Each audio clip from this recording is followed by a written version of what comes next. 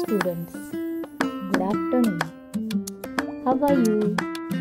I hope you all are safe at home. Student, welcome back to our IT section, Standard 4, Chapter 6, Classification of Computer. Mighty, I have seen only laptops and desktops. What kind of computers are there besides these computers? Yes, there are different types of computers having different features.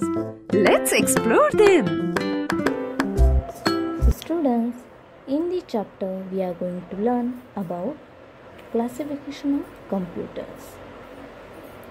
Computers can be classified into four types according to their size, storage and capacity. First, personal computer, second, mini computer, third, mainframe computer, and fourth, supercomputer. First, personal computer. A personal computer is based on a microprocessor which is small in size and designed for a single user. Second, mini computer. A mini computer is a multi user computer with higher storage capacity compared to a personal computer and is capable of supporting up to hundreds of users simultaneously. Third, mainframe computer. A mainframe computer is even more powerful than a mini computer and it is capable of storing large amount of data and supporting many thousands of users simultaneously. 4. supercomputers. A supercomputer is an extremely fast computer with higher storage capacity that can perform millions of operations per second. Now we will see about personal computers in detail. These computers are also called as microcomputer. Microcomputers are the smallest type of computer. The principal characteristics of personal computer are that they are single user systems, have low storage capacity and are therefore used as personal computers.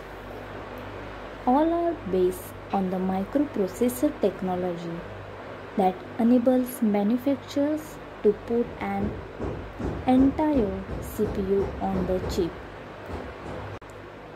However, although personal computers are designed as single user systems in organizations like banks, offices, and hospitals.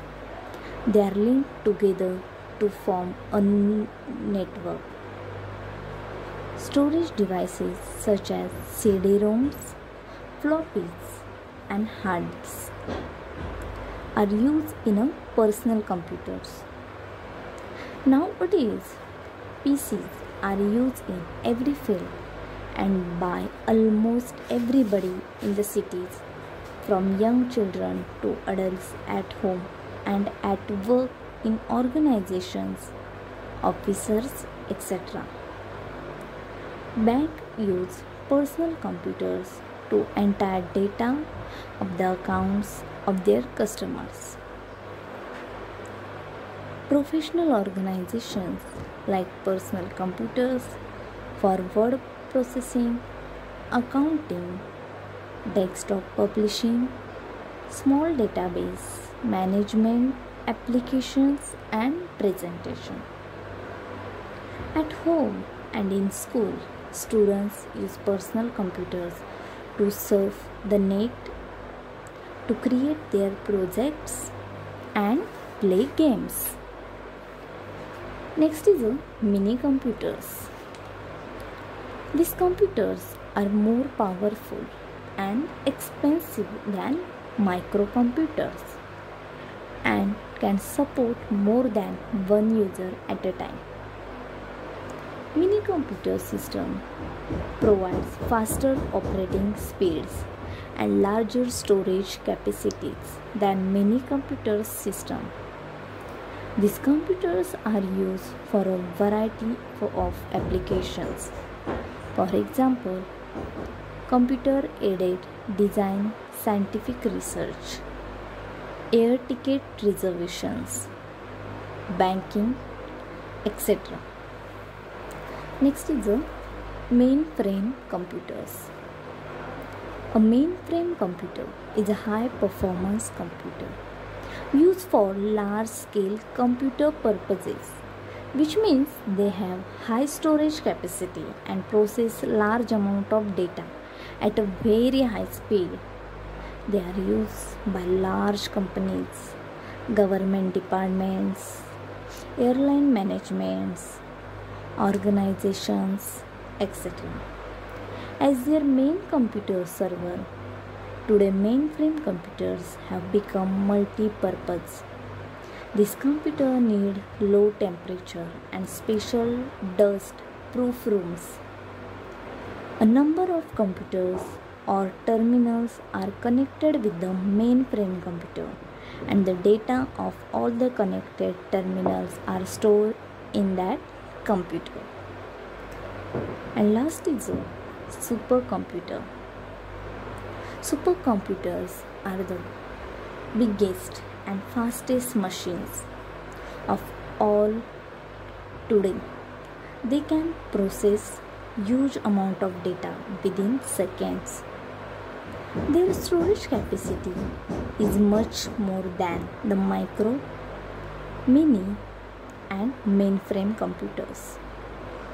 Supercomputers are very expensive and are used for handling complicated and specialized applications they require immense amount of mathematical calculations supercomputers are essential for applications ranging from nuclear weapon to accurate weather forecasting designing the supersonic aircraft etc India has developed a supercomputer called Param. Other examples of supercomputers are Cray 360 and Hitachi 81020.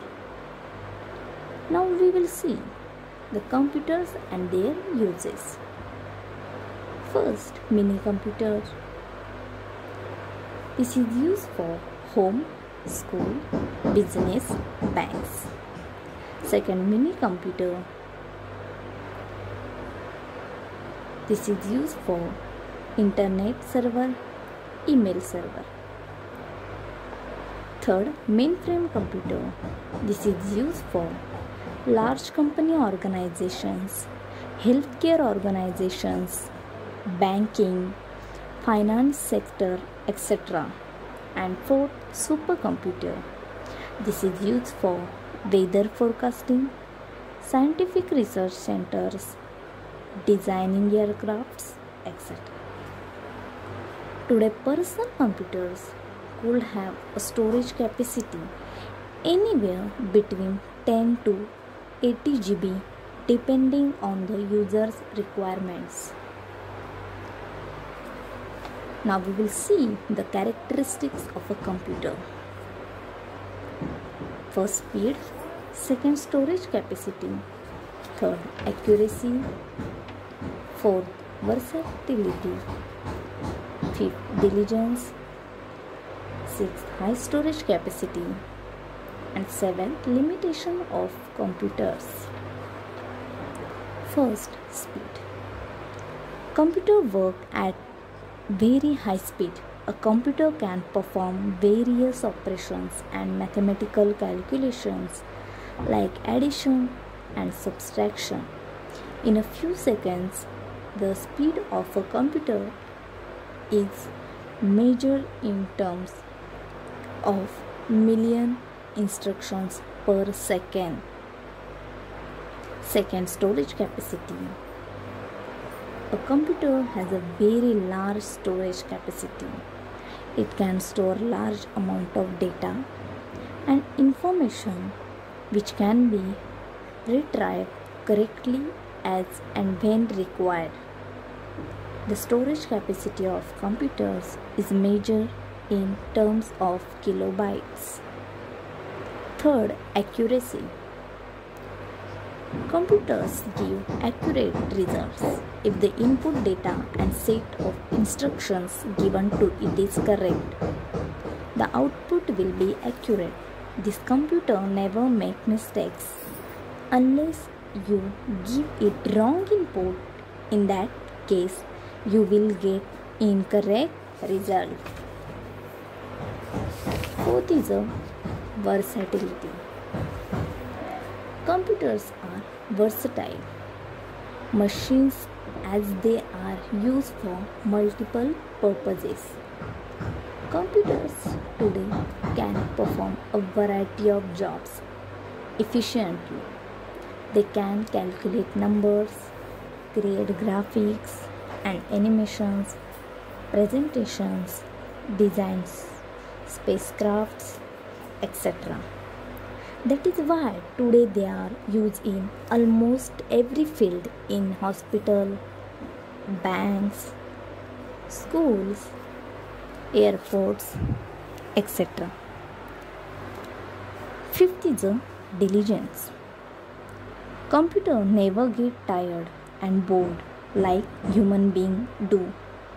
A computer can perform a task repeatedly with the same efficiency and accuracy as it does it for the first time.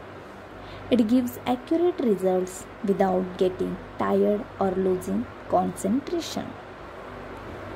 6. High storage capacity.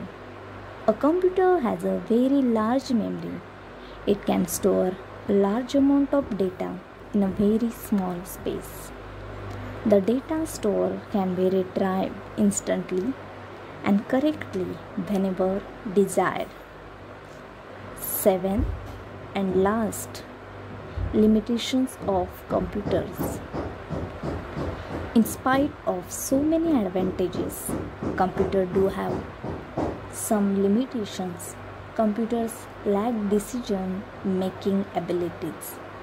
They need to be told each and every step. If an unanticipated situation arises, computers will either produce incorrect result or abandon the task altogether.